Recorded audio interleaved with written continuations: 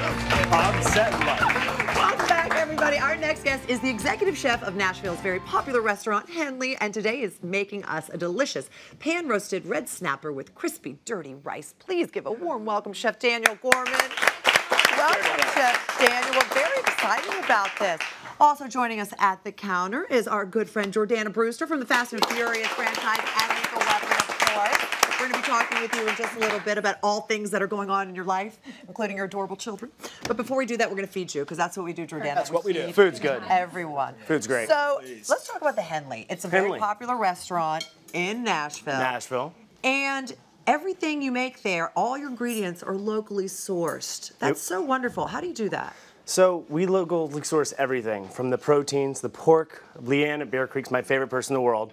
Love her to death. She brings everything fresh every week. All my pigs, my chickens, all the local produce. That's so important. It's truly farm to It's table. amazing. It's incredible. It really is. Vegetables, everything across everything. the board. A beautiful thing about Nashville is I have Nashville grown, so it's like 150 farms in one app, and I can just order everything, and it comes Oh, like wonderful. three days a week. It's amazing. Well, this delicious dish is on the menu. We all love it. Um, Mm-hmm. Talk to us about this red snapper dirty rice situation. Talk to for before we even get into the, the dirty rice, which is to die for. As you can tell, everyone over there is very is. quiet. They've already started. Dirty never Absolutely tasted amazing. so good. No, Yep. we were we were all sampling in the kitchen earlier. Like this is so good. the red snapper. We prepared it over there already. But what do you look for when you're buying red snapper? So red snapper or all fish in general, clean, beautiful, doesn't smell bad, clear eyes. It's always a good one. Like Clear one of those eyes. bad commercials. Um, yeah, Why they need eye drops? Yeah. You don't want fish that can't see? Why clear eyes? because the longer they're out of the water, their eyes get foggy and they get musty. I did not know Okay, that. so if they're clear, you're a safe bet. Really? I Yeah. didn't know that either. Oh my gosh. Does it have to be snapper, or will, is this recipe will that go for any Any kind- fish. Any fish. Any Any fish. fish, any soft flaky fish, a steaky fish, maybe a little different, But but, any with flaky- rice, because sometimes you can just mix it up with the rice. It makes it so much better. Sure. Right? Okay, well, let's get started on the rice. We've already prepared our snapper, so we've got that sitting over there. And over Yep. here in a pan, what have you?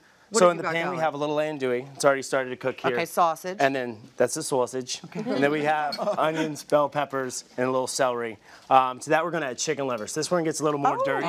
Chicken livers, okay. So the chicken livers go into here. We're gonna cook those in. while I we're love going me there. some. Not they are underappreciated and underused. They're so underused. Yeah. But I use them in everything. What's the story with the chicken livers? Why? Chicken livers. so dirty rice is everything you have like in your fridge into a pan with rice, make it crispy and Oh, delicious. is that what it's just leftover? Yeah, kind okay, of. Okay, I see. But there's a base to it. Okay. Uh, we're gonna add a little gumbo filé here. Okay. We have some cayenne, some Old Bay. You I can't love go Old wrong. Bay. You gotta love it a little bit. You can put Old Bay on anything. It's probably my next tattoo. It'll be a can of Old Bay. It's so good. Um, jalapenos and garlic. Yep, let's do that. okay. Um, Now, did you use olive oil or butter? butter. Oh. Girl, girl, Olive oil is only on pasta night. Um, so butter's the way we go in my house and in the restaurant. when you say clean out your kitchen, seriously, you just go in, whatever vegetables are left over, whatever meats are left over. So we start with the Holy Trinity. The Holy is? uh, celery, onions, and bell peppers. that Trinity. Got it. that I was Trinity. confused for a second.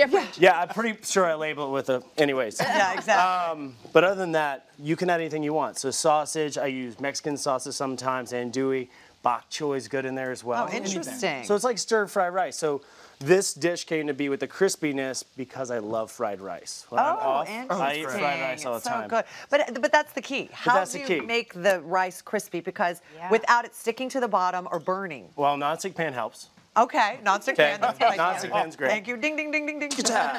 Um, but then you add your rice. So once you get everything seasoned, get all those aromatic love loves in there, and all that smell. Everyone smells that, right? Right. Mm-hmm. Mm-hmm. Then you stir in your rice, and once you get it all mixed up, you turn it to like medium high and you let it go. You just let it sit. You let it sit. I'd And be then- so paranoid it's gonna Gonna burn burn. out. Yes. You never saw those commercials, set it and forget it. I think that was for dentures. No, Yeah, you're right. it was not. Dentures. I have I have heard that with fried rice, the secret to good fried rice is starting with cold rice. True or false? Leftover rice. So true. Leftovers. Yeah, true.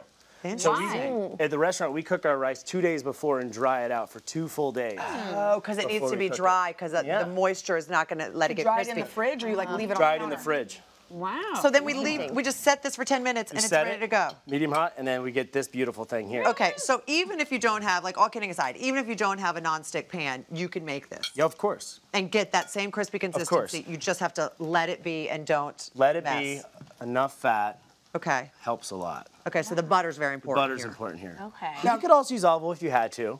Okay. Now, not only a chef, I understand you also have a green thumb. So you're actually growing some of your stuff like our gal Shirley. True or false? Mm, true. I grow more plants in my house than any chef I know. I have four garden beds in my house. And Oh, look at that. I love plants. Like 44 indoor house plants. Oh my goodness. 44? At least. You're like the least. cat lady of alive? plants.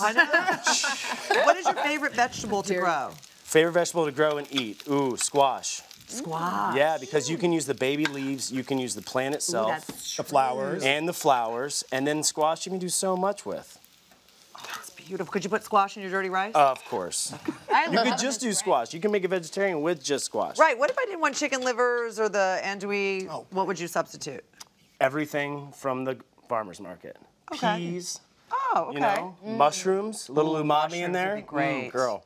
Girl. Girl. I love that you keep saying girl. It's my favorite. Somebody's hungry. Somebody wants to get to Taste it. It's a girl that's hungry. Girl. Little fish. Are we gonna fish with scallions? Oh, scallions. You want to okay, pour some ahead. butter sauce on top and lemon? More lemon? butter. Wow. Does the butter go first or the lemon? Go butter. Go butter first. The chicken liver, is that mainly for the flavor? I mean, I know you said throw everything you've got in there, but there there must be really There's a flavor there. It Okay. is. Right. It adds a little bit of funk, a little bit of iron to it. It gives it more body. Mm. So the idea is like in the South, when I grew up, I would go to Bojangles all the time, and you would get this fried, dirty rice, and Yes. It makes every beach experience that much better. You're so funny. All right, dig in. Right, Debbie. Dig in. you Come on, are Daniel, let's get in going here. to It is so love good. it. Yummy. Uh, the full recipe, everyone, is available on HallmarkChannel.com. You've got to make this. It is absolutely delicious.